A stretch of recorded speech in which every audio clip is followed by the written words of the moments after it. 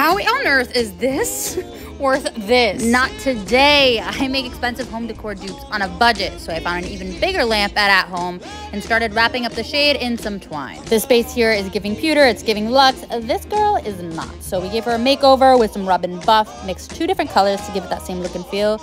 And guys, mine only cost $80 because I chose a massive lamp. You could do this for cheaper.